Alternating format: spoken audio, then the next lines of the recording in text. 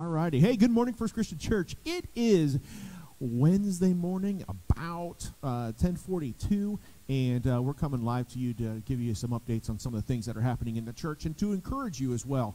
Uh, man, I'll tell you what, sometimes we just need that, that little boost. Sometimes we need that encouragement. Sometimes we just need that, that, that someone to give us a pat on the back, uh, that someone to, to say, man, you know, you're doing a good job. We thank you for this. And, and so, you know, I, I hope that you get that.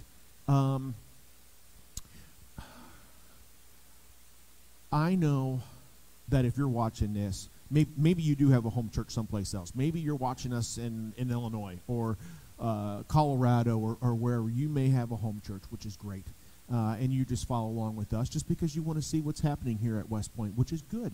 But a lot of the people who are in this church who call this church home, call this their place that they worship and, and their fellowship and their family, we need you. And I'm just saying this. I'm saying this because we need you. Samantha and I were talking about the things that we do just for Sunday and some of the things that we have to get accomplished, things that we have to do, and we need you. I mean, we're we're, we're ramping up and we're, we're talking about Sunday school teachers.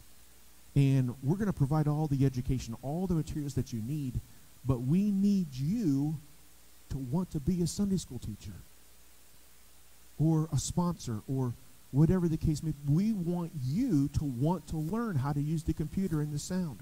We want you to want to do communion, to set that up, to get that out on Sundays. We want you to work in the nursery. We want you to want to work in children's church. We want you to fill in the blanks.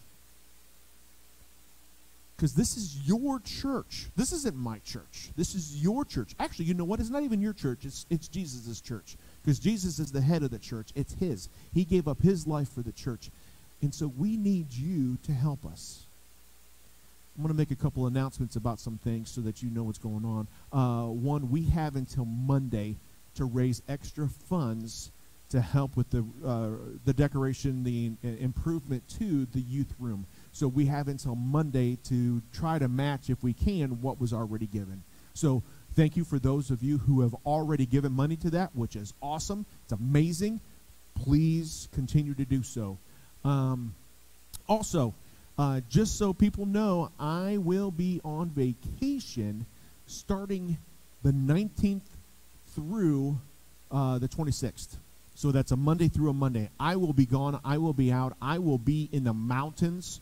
And from what I understand, there's going to be very little to no cell reception.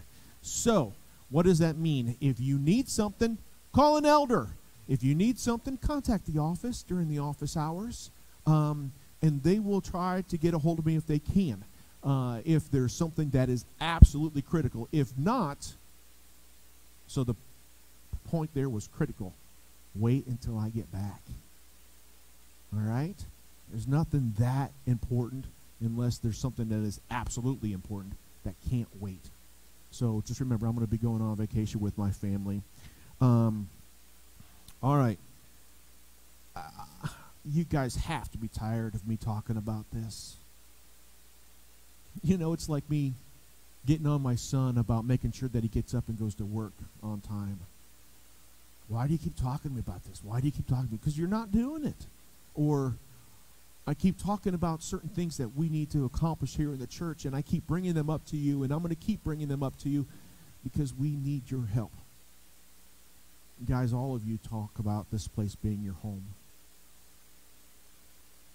your home needs your finances. It, it, it's dumbfounding to me how many people come to church or watch online or do whatever and they don't give anything to the church. Here's why it's important.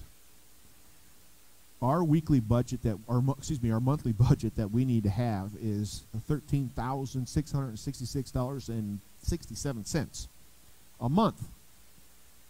And I'm going to tell you what our um, monthly offering was. So 13.6 is what we're supposed to bring in. January 10,700, February 9,900, March 11,800, April 10,500, May 10,300, June 10,500. So what does that mean? So far this year, we are just uh, uh, just over twenty-two thousand dollars behind budget. Twenty-two thousand, and yet we still have to keep moving. We still have to do improvements. We still have to upgrade things. We still have to do things. We need you to help us. If you are already giving, if you are already dedicated and, and you give, thank you. We're not asking that you give more. We're just asking those who don't too. All right, this week we have Daniel. And to understand Daniel is to understand the very first chapter. So what happens with Daniel? What happens with them? And and so we see this in chapter one. It says, "In the third year, of the reign of Jehoiakim, uh, king of Judah, Nebuchadnezzar, king of Babylon, came to Jerusalem and besieged it. And the Lord delivered Jehoiakim, king of Judah, into his hands, along with some of the articles of the temple of God. These he carried off to the temple of his God in Babylonia, and put in the treasures of his God." Then the king ordered Ashpenaz, chief of his court officials, to bring into the king's service some of the Israelites from the royal family and the nobility, young men without physical defect, handsome and showing aptitude for every kind of learning, well informed, quick to understand, and qualified to serve in the king's palace. He was to teach them the language and literature of the Babylonians.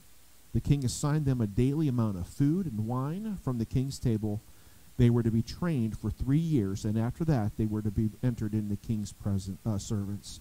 So, Daniel was one of these men because God had a plan for him.